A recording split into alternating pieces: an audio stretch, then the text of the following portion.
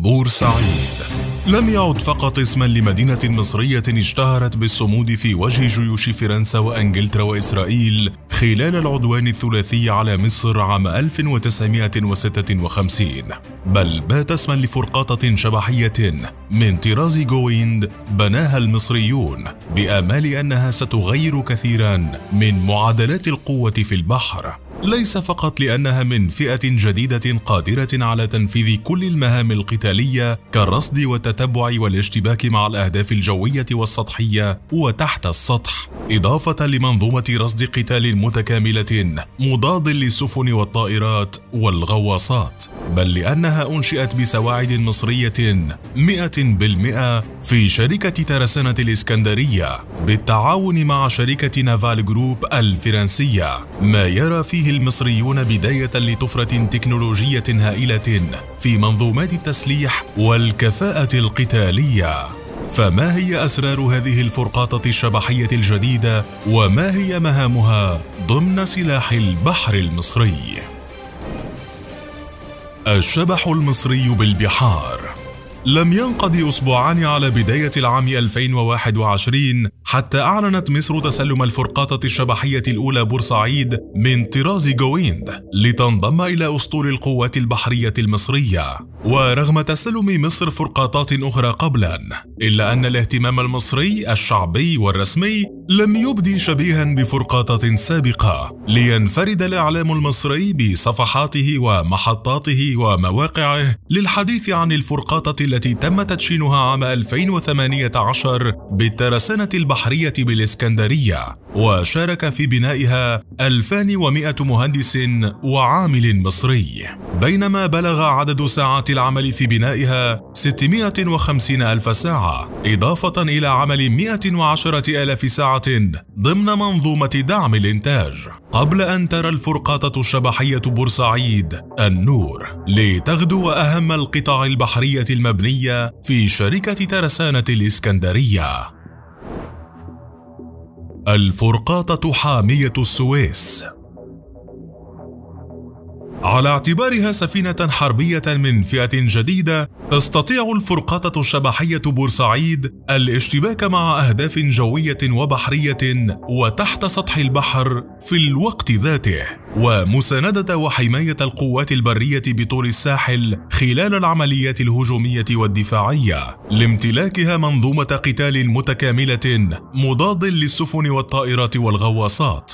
دون إغفال القدرات الكبيرة للفرقاطة الشبحية لتنفيذ عمليات الرصد والتتبع ضمن تصميم دأب مسؤولون مصريون على وصفه بالمعقد والمتطور. فيما تشير التصريحات العسكرية الرسمية المصرية إلى أن المهمة الأولى للفرقاطة الشبحية بورسعيد توفير حرية الملاحة البحرية الآمنة ودعم أمن قناة السويس بجانب تأمين خطوط المواصلات البحرية وحراسة القوافل والسفن المنفردة في البحر والمراسي بما يمكنها من حماية أمن وسلامة السواحل والمياه الإقليمية المصرية.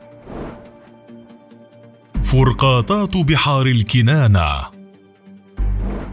بات التوجه المصري لفرض نفوذ بحري في محيط البلاد المائي واضحا مع تسارع تصنيع وعقد صفقات شراء الفرقاطات الشبحية. إذ إنه إضافة للفرقاطة الشبحية بورسعيد امتلكت مصر أول فرقاطة شبحية بعد أن تم بناؤها في فرنسا وأطلقت عليها لقب الفاتح. أما المعز فهو اسم الفرقاطة الشبحية المصرية المشيدة في شركة الترسانة البحرية بالإسكندرية لكن بخبرات فرنسية. بينما تعد الفرقاطة الأقصر بين الأكثر تطورا من الصفقات مع فرنسا حيث يبلغ وزنها 2600 طن بطول أكثر من 100 متر وعرض 16 متر. كما تبلغ سرعتها القصوى 47 كم بالساعة بمدى أقصى يبلغ 6850 كيلومترا. وتتسلح بمدفع متعدد الأغراض و16 خلية لإطلاق الصواريخ. إضافة لمدفعين للتصدي للعائمات المقتربة مع قواذف توربيدات مضادة للغواصات. مع إمكانية حمل الفرقاطة لمروحيات بحرية لمكافحة الغواصات ولنقل وإسناد أفراد القوات الخاصة. إضافة لمروحية غير مأهولة لعمليات الاستطلاع وتوجيه النيران.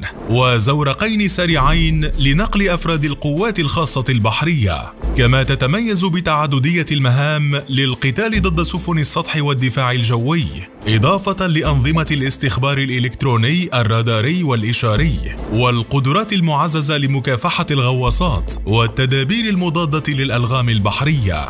ومن إيطاليا تسلمت مصر قبل أشهر الفرقاطة الأولى من طراز فريم برغاميني وحملت اسم الجلالة لتغدو واحدة من أصل فرقاطتين من طراز فريم تم التعاقد عليهما بين مصر وإيطاليا. وتتميز بالقدرة على الإبحار لمسافة 6000 ميل بحري مع تزويدها بمنظومات تسليح متطورة تمكنها من تنفيذ جميع المهام القتالية بالبحر وقت السلم والحرب وأنت ما رأيك بخطى مصر لتكون بين أسياد البحار عبر فرقاطاتها الشبحية؟